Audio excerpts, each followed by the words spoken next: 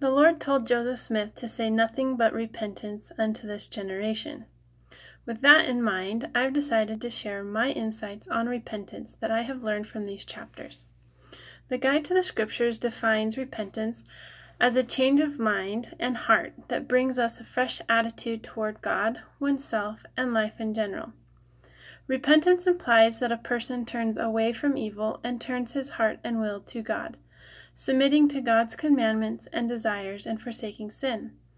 True repentance comes from a love for God and a sincere desire to obey His commandments.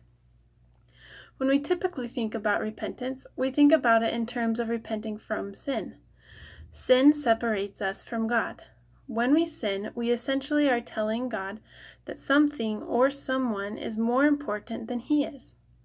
President Oaks said, We must repent of all our sins all of our actions or inactions contrary to the commandment of God. None of us is exempt. At the beginning of Alma 4, the Nephites see their afflictions as a call to repentance and begin to establish the church more fully.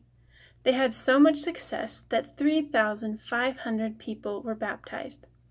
But it wasn't even a full year later that the people of the church started sinning again and were quickly leading the remainder of the population further away from God instead of toward Him. Alma steps down from the judgment seat and is poised to begin his mission of crying repentance to the Nephites. As for the remainder of the plotline covered in this week's chapters, Nehor kills Gideon, dies an ignominious death, his doctrine lives after him, lots of pride, contention, and dissensions from the church, Amlici tries to become king, and thousands and tens of thousands of souls were sent to the eternal world, that they might reap their rewards according to their works, whether they were good or whether they were bad, to reap eternal happiness or eternal misery, according to the spirit that they listed to obey, whether it be a good spirit or a bad one. It doesn't seem like there are a lot of good examples of repentance in these chapters. But let's look at these chapters focusing on repentance as turning towards God, a change of mind and heart that brings a fresh attitude toward God, oneself, and life in general. In Alma 1, the members of the church are being persecuted for their beliefs. Many members are dissenting and priestcraft is spreading. In verse 25, it says, Now this was a great trial to those that did stand fast in the faith. Nevertheless, they were steadfast and immovable in keeping the commandments of God, and they bore with patience the persecution which was heaped upon them. They turned toward God in their trials. They sought to keep his commandments. In the subsequent verses, it says that they diligently sought to hear the word of God. They worked hard, they had charity for those in need, and they were humble. That is repentance.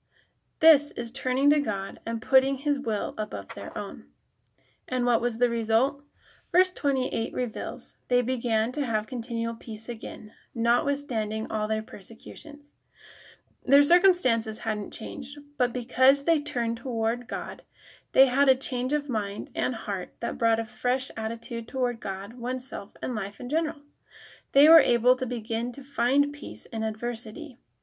President Nelson teaches that repentance is not an event, it is a process. It is the key to happiness and peace of mind. When coupled with faith, repentance opens our access to the power of the atonement of Jesus Christ. When we begin to continue the process of repentance, we can watch for when we begin to have peace again. We can watch for blessings that we receive, and our hope can turn to faith that God is really working in our lives. We can also repent and turn to God in times when we need additional strength. When they were preparing to battle an enormous Lamanite army, the Nephites were strengthened by the hand of the Lord, having prayed mightily to hear him, that he would to him that he would deliver them out of the hands of their enemies. Therefore the Lord did hear their cries, and did strengthen them. Alma turned to God for even more additional strength in the heat of the battle when facing Amlici in hand to hand combat. The challenges we face each day can feel like a battle. We frequently can feel as if the opposition is an army as numerous almost as it were the sands of the sea. We cannot face our trials alone. Life was designed so that we would turn to God as we prepare for and fight in the battle of each day. One aspect of the daily battle is the battle with sin. President Nelson teaches the battle with sin is real. The adversary is quadrupling his efforts to disrupt testimonies and impede the work of the Lord. He is arming his minions with potent weapons to keep us from partaking of the joy of and love of the Lord. Satan is extremely good at what he does. From global pandemics, political upheaval, financial crises, family turmoil, to more temptations to count, Satan has provided many excuses to distract us from Christ. President Nelson continues Too many people consider repentance as punishment something to be avoided except in the most serious circumstances. But this feeling of being penalized is engendered by Satan. He tries to block us from looking to Jesus Christ, who stands with open arms, hoping and willing, willing to heal, forgive, cleanse, strengthen, purify, and sanctify us. Each of us can use a little more forgiveness, a little more freedom from guilt, a little more strength, and a little more sanctification. Each of us needs a little more Christ in our lives. We need His power and His love.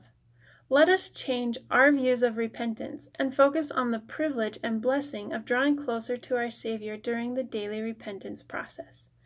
In his talk, We Can Do Better and Be Better, focused on daily repentance, President Nelson gives this promise I bless you with the courage to repent daily and learn how to exercise full priesthood power. I bless you to communicate the love of the Savior to your spouse and children, and to all who know you. I bless you to do better and be better. And I bless you that as you make these efforts, you will experience miracles in your life. As I have worked to focus on daily turning towards my Savior, I have been able to find peace in my trials. I have been able to see improvements in my weaknesses that I could not have done alone.